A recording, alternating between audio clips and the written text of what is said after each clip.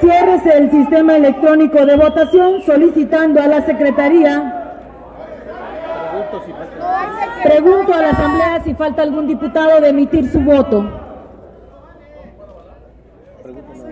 Pregunto nuevamente a la Asamblea si hace falta algún diputado de emitir su voto.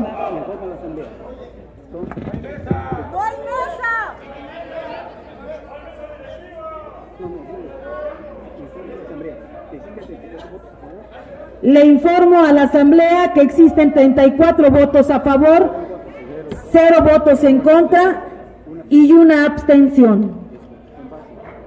Con base en el resultado de la votación emitida por la Asamblea, esta presidencia a mi cargo declara aprobado en lo general el dictamen que nos ocupa.